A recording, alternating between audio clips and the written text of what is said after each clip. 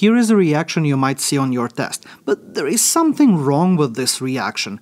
Let's see what's going on here. First of all, as a starting material over here, we have an alkene, and for our product, we get an alcohol.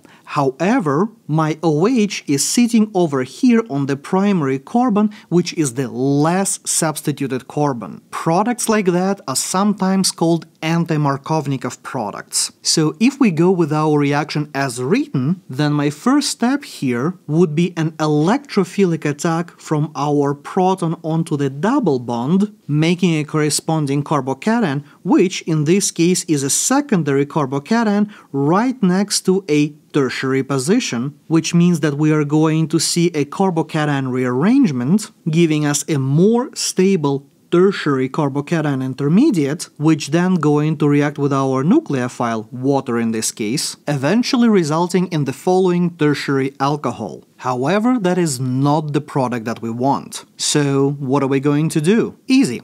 Instead of a hydration, what we are going to use here is going to be the hydroboration oxidation reaction, which does in fact give you an anti-Markovnikov alcohol with the OH group on the less substituted carbon of your molecule. So always check your work so you don't make silly mistakes like that.